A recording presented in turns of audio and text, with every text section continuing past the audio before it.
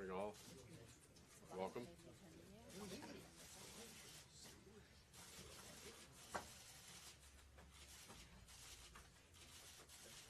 Thank you. Thank you. Thank you. Please.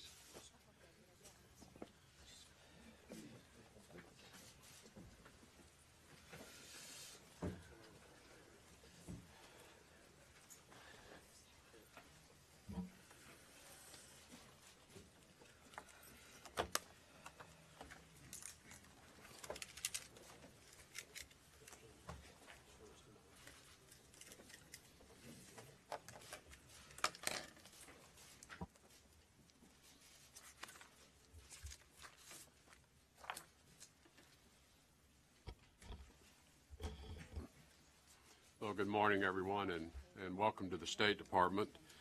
Uh, the United States is very pleased to be hosting this strategic dialogue with our friends from Kuwait. We welcome Foreign Minister Al-Khalid, Deputy Foreign Minister Al-Jarallah, Ambassador Al-Sabah, and the entirety of the Kuwaiti dec- dec- uh, delegation. Thank you for being here. Thank you for traveling here.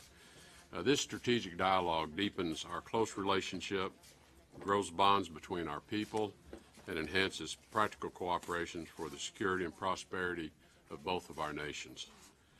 President Trump and I had a very productive meeting at the White House with His Highness the Emir yesterday. The President reaffirmed our friendship and discussed a number of shared objectives in the region. As a concrete demonstration of our close relationship and partnership, we have agreed to a number of initiatives that will deepen the ties between the U.S. and Kuwait. Our governments have agreed to enhance Kuwait's military capabilities, the next steps of which will be the provision of FA-18s. FBI Director Wray and Minister of Interior Khalid signed a counterterrorism information sharing arrangement which will strengthen our fight against terrorism. Customs and Border Patrol and the Kuwait Directorate General of Customs also signed an agreement today to share, share customs information, which will also be very important in those efforts. The U.S. and Kuwait are signing two more memorandum of understanding today. The first is an education MOU between the Department of State and Kuwait's Ministries of Education and of Higher Education. This MOU will help prepare Kuwaiti students to study in the United States and encourages relations between U.S. and Kuwaiti institutions of higher education.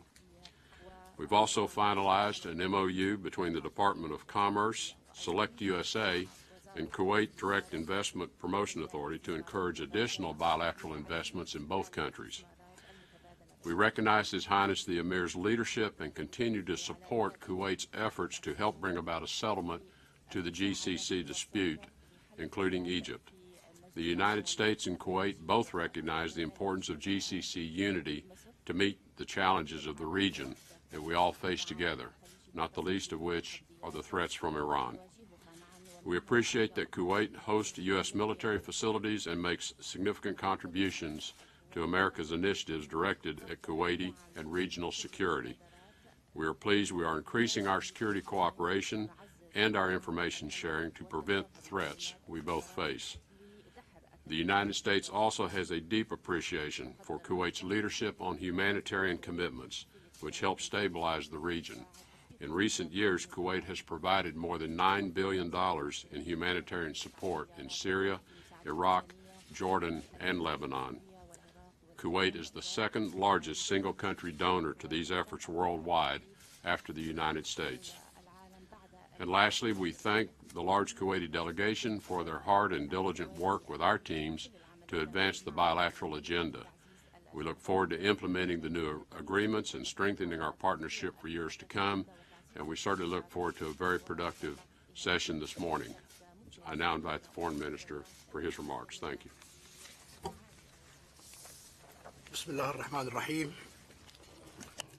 In the name of God, most compassionate, most merciful, my dear friend, Secretary Tillerson, U.S. Secretary of State, Your Excellencies, members of the two participating delegations in the second round of the U.S. Kuwaiti Strategic Dialogue, ladies and gentlemen, peace of God be upon you all. At the outset, I'm very delighted to express on my behalf and on behalf of the Kuwaiti delegation our deepest thanks and gratitude for all the warm welcome and generous hospitality since we have arrived to this uh, great uh, capital, Washington. And as well, we thank the two delegations and the members of these delegations for all their efforts exerted in preparing for this distinguished meeting and all these distinguished efforts. We also would like, in this context, to reiterate our deepest heartfelt condolences for all the destruction that happened in Texas because of Hurricane Harvey, all the losses of lives and all the destruction. We pray to God that the United States of America be spared the dangers of the looming Hurricane Irma and that God protects your country and the American people, our friends, from any harm. My dear friend, Secretary Tillerson, ladies and gentlemen, today as we meet, this comes to follow up on the historical and important meeting that uh, happened between His Highness, uh, the Emir of Kuwait, Sheikh Sabah Al-Ahmad Jaber Sabah, God protects him, and His Excellency President Donald Trump to continue and follow up on all what they discussed and try to implement it and execute it to shape the outlook, the future of the outlook of our relationship for the 25 years to come in a way that reflects the vision of our leadership and the aspiration of our people. In this context, we certainly much value what was said by uh, President Trump when he met the Emir of Kuwait. His Royal Highness, Emir of Kuwait, God protects him, reaffirming the commitment of the United States of America to the security, the safety, and the stability of Kuwait. In culmination for these strong bonds between our two countries, we sent we, we signed during the visit of the Emir of Kuwait, His Highness, to Washington.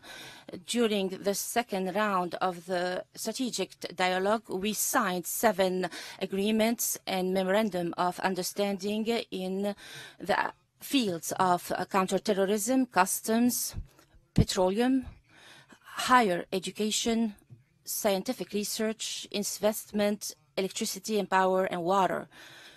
In addition to 16 um, agreements that were previously concluded for a total of uh, 23 agreements, total of agreements concluded between our two friendly countries the size of the Kuwaiti representation in this second round of the strategic dialogue and the various representation of these various sectors present with us today that come from 10 various sectors and represent the various fields, vital fields uh, of cooperation between our two countries. Political, military, security, commerce, investments, education, cultural, and other fields of cooperation. This importance of Kuwait to the importance of this dialogue.